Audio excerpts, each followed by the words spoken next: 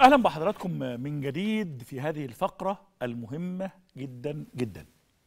نظرا لأننا ازاء وضع استثنائي شديد التعقيد كما أطلق عليها الرئيس التحديات المركبة. أمامنا معضلات استراتيجية تحتاج إلى تفكيك.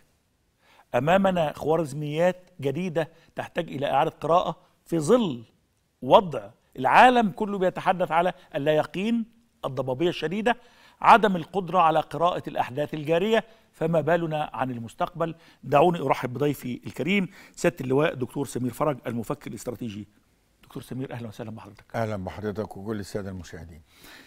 بالتأكيد ما يمر به العالم والإقليم هذا الإقليم البائس غير مسبوق على كافة المستويات ومن كافة الزوايا. كيف تقرأ المشهد انيا؟ أعتقد لم ما حصلش في عشرات السنين اللي فاتت إن المنطقة مرت بأزمة طويلة زي اللي إحنا عايشين فيها. دايما إحنا كعسكريين نقول إيه؟ من السهل أن تحدد متى تبدأ الحرب ولكنك لا تستطيع أن تحدد متى ستنتهي. صحيح.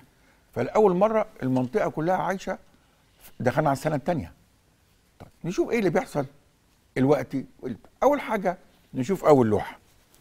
اللوحة الأولانية بتقول لنا إن إسرائيل النهارده مشتبكة في أربع جبهات. في وقت واحد. في وقت واحد. لا اللوحة اللي قبليها. أول واحدة. حرب أربع جبهات. أيوه دي. هنبص ده على العنوان العريض يا دكتور سمير. العنوان حرب عريض. الأربع جبهات جبهات. عندنا غزة ولبنان ثم اليمن ثم إيران. دول الأربع جبهات اللي مشتركة فيهم. ناخد الموضوع بالراحة. أنا بحب أمشي مع المشاهد حتة بحتة. بدأت العملية في إسرائيل زي ما الكتاب بيقول آه، بتنفذ. فيسز الأسلوب الغربي في التكتيك بيقول كده. بدأت المرحلة الأولى في إيه؟ في غزة.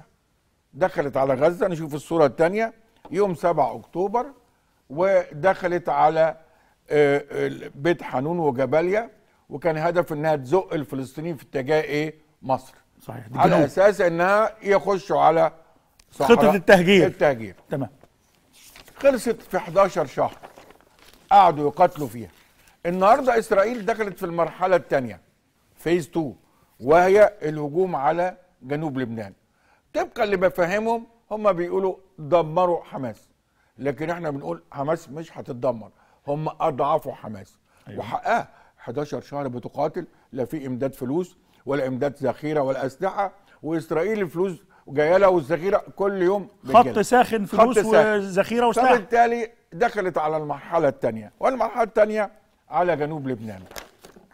لو جينا على جنوب لبنان الصورة اللي بعديها برضه عايزين نفهم من الصورة اللي بعديها. آه. الناس نقول لهم الجنوب اللبناني عشان الناس تسمع جنوب لبنان لا الصورة الثانية جنوب لبنان عندنا أول حاجة الخط الأزرق اللي تحت اللي الناس تسمع عليه. الخط الأزرق. الخط الأزرق ده الحدود بين لبنان وبين إسرائيل. فوق بقى كده الخط بتاع النهر الليطاني. أيوه. دول بيتسمى في اللي هنسمعه في كل مرة جنوب لبنان هي الحتة دي. خالص.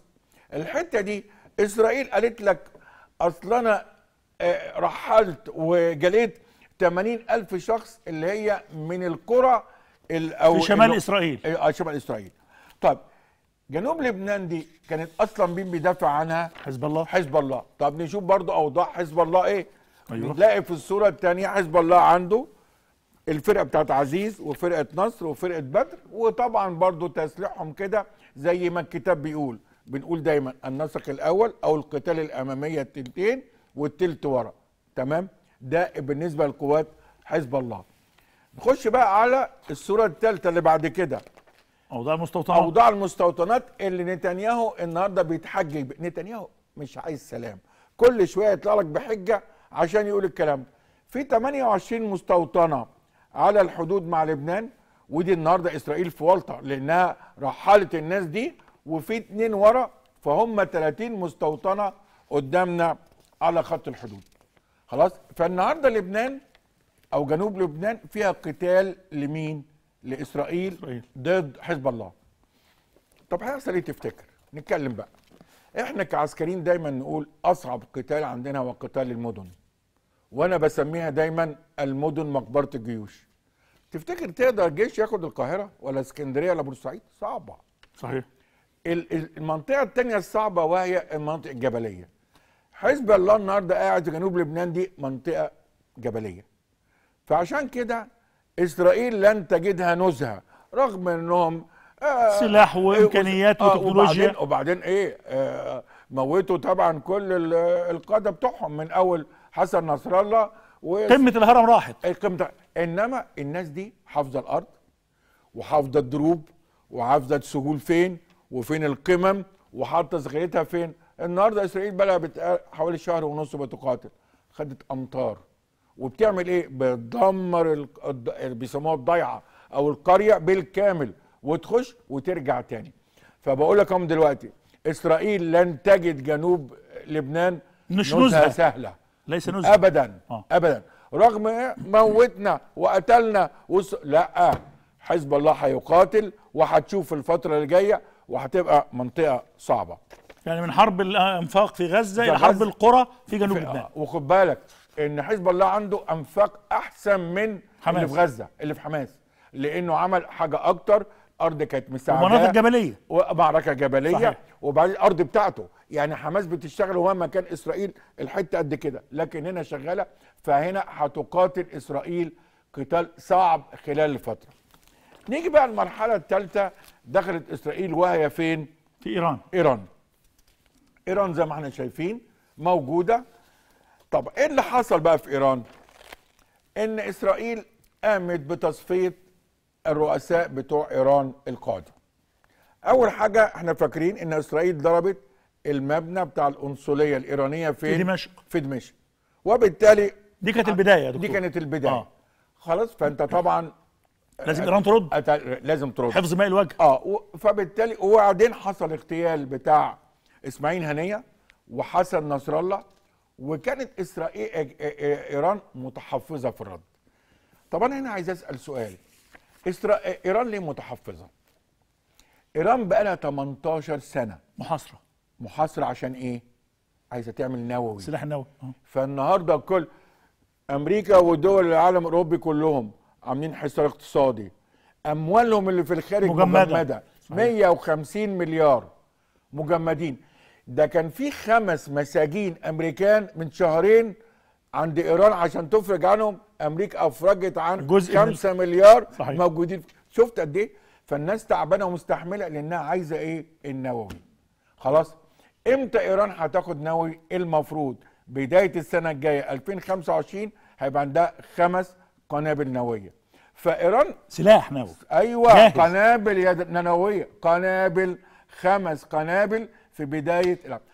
طبعا السي آي اي ويليام بيرنز الأسبوع اللي فات قال ده هي قادرة في أسبوعين تطلع قال في أسبوعين صحيح آه. انت طبعا قريت طبعاً، الكلام طبعاً. لا التخطيط اللي أو من المنظمة الدولية قالت 2025 هيبقى عند آه، آه، آه، إيران خمس قنابل نووية. فهي إيران مستحملة كل ك- 18 سنة. ال- ال- الشعب الإيراني تعبان. اقتصاديا تعبان جدا اقتصاديا طبعا جدا ومستحملين. عشان كده إيران راحت بعد ما الناس ده طبعا والشارع لازم يهدى الإيراني راحت ال- اللوحة اللي جاية راحت ضربة إسرائيل ب 200 صاروخ اللي قدامنا هم طبعا النتيجة كانت وأنا طلعت في كذا قناة ثانية ال 200 صاروخ اعوروا مين؟ بنت بدوية في صلاح النقل بالظبط. لأن يقال إن بعض الصواريخ كانت الرأس الهد فيها طوب لأن مش عايزة تثير إسرائيل. ولكن شعبها بتعملوا إيه؟ وإحنا عندنا الصواريخ. فده نوع من تهدئة الرأي العام الداخلي الداخلي. وحفظ ماء الوجه مع ال- وعدم إثارة مين؟ إسرائيل. إسرائيل. لأن كان ممكن تس... عندها آه، صواريخ فرط صوتية. فعشان كده وإيران كانت الأول مرة في المرة دي تستخدم الصواريخ الفرط صوتية. عايزين نشرح للناس برضو إيه الصواريخ الفرط صوتية.